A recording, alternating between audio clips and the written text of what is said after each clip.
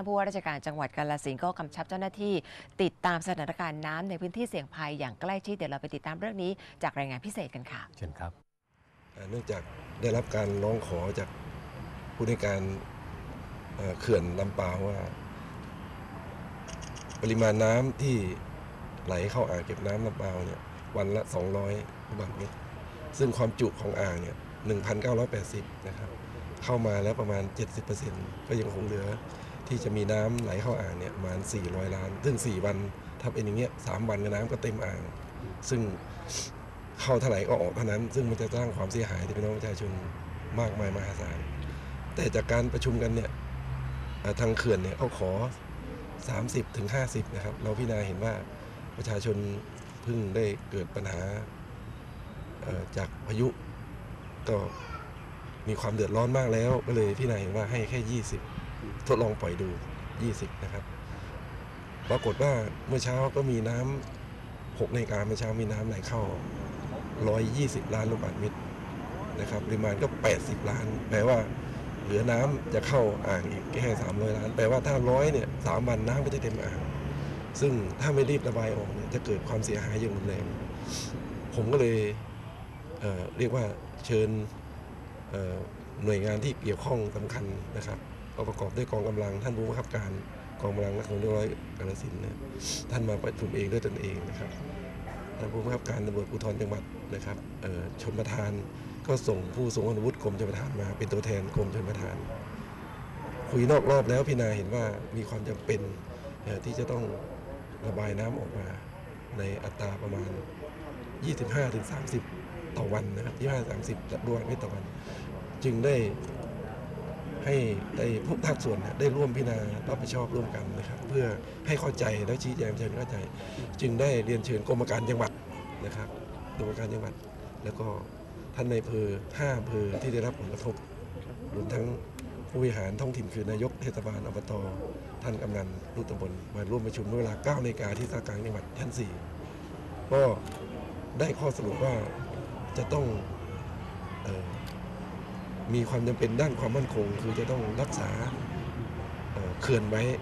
นะครับ เพราะมิฉะนั้นแล้วถ้าเขื่อนเกิดมีปัญหา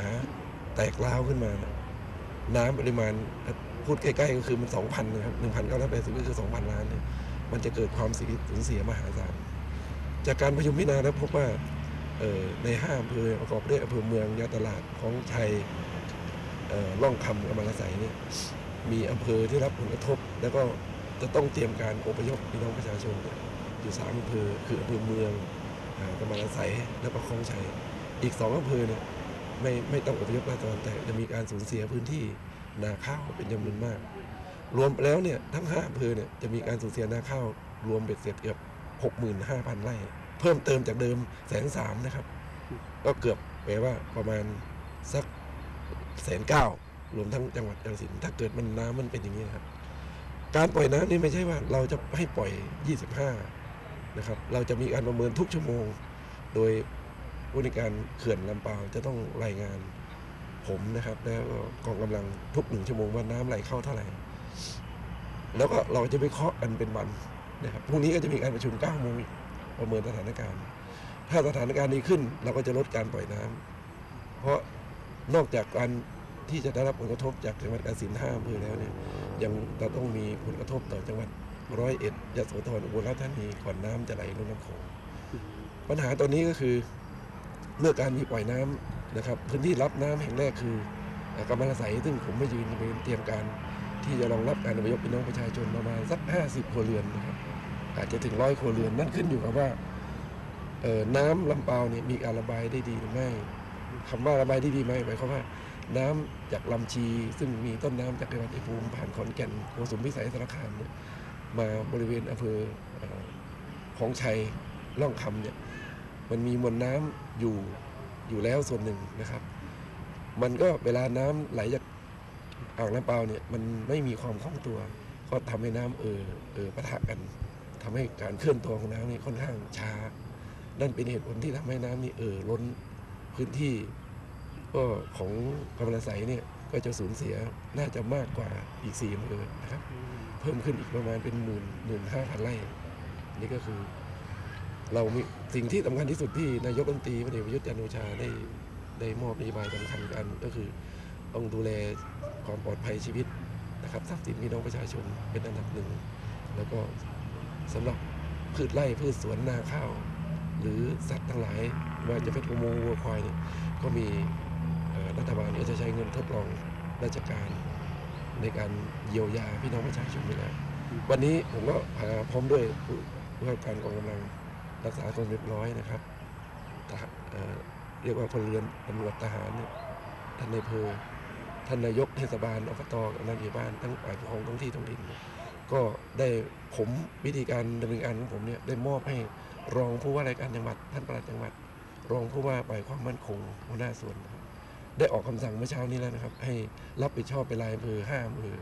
โดยเฉพาะสามอำเภอหลักเนี่ยมอบหน่วยงานหลัก โดยเฉพาะรองผู้ว่ากับท่านประหลัดจังหวัดเป็นผู้รับผิดชอบ ในการเตรียมการเรื่องสถานที่รองรับการอพยพถ้ามีความจำเป็น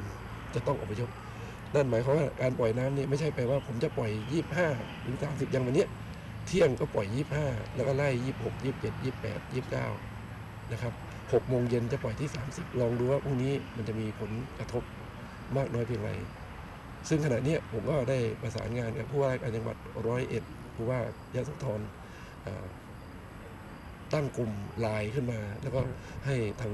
เขื่อนลำปาวเนี่ยส่งข้อมูลอัปเดตทุกหนึ่งชั่วโมง ก็จะส่งให้เพื่อให้ทางนู้นติดการดูแลทรัพย์สินนี่ผมได้คุยได้ได้เรียนท่านผู้ว่าการตำรวจภูธรจังหวัดว่า และกองกำลังนะครับ จะต้องจัดชุดเขาเรียกชุดเคลื่อนที่เร็วนะครับ ในการที่เมื่ออพยพชาวบ้านมาแล้วจะต้องมีชุดเคลื่อนที่เร็ว ใช้โมอไซค์ เรียกว่าลาดตระเวนดูบ้านที่เขาเขาต้องอพยพเข้ามา แล้วก็มีชุดเคลื่อนที่เร็วประจำจุดที่ที่อพยพนะครับ แล้วก็จะมีหน่วยพยาบาลเคลื่อนที่อยู่ประจำตลอด 24 ชั่วโมง ชุดเคลื่อนที่เร็วเนี่ยจะมีทั้งทหารท่านผู้การสั่งผู้การกองกำลังก็จะสั่งการทหารอ่าทำงานร่วมกับตำรวจ แล้วก็จะมีอาสาสมัครรักษาดินแดนหรืออส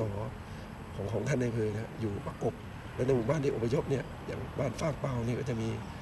กำลังเคลื่อนที่ครับสายตรวจนะครับ จะเคลื่อนที่ไปดูความปลอดภัยจะต้องไม่ให้ประชาชนเรียกว่าพบวิบากกรรมซ้ำคือมีพวกมิจฉาชีพคิดไม่ดีเนี่ยไปฉกชิงวิ่งราวไปงัดแงะบ้านคนอย่างเงี้ยจะเกิดขึ้นไม่ได้นะครับแล้วด้านสุขภาพอนามัยก็ต้องดูแลพี่น้องไปอย่างดีแล้วก็อันดับแรกก็จะให้นายกทางเทศบาลอบตเนี่ยใช้เงินทดลองรายการในการที่จะปรุงอาหารทำครัว แล้วก็ผมได้เตรียมการทั้งน้ำทั้งถุงยังชีพ ซึ่งสำหรับ จุดนี้นะครับที่จุดอพยพของเตรียมการอพยพนะครับ ของกำลังใสก็ผมจะเอาถุงยังชีพมาเตรียมพร้อมไว้นะครับ ทันทีที่มีการอพยพก็สามารถมาสนับสนุนได้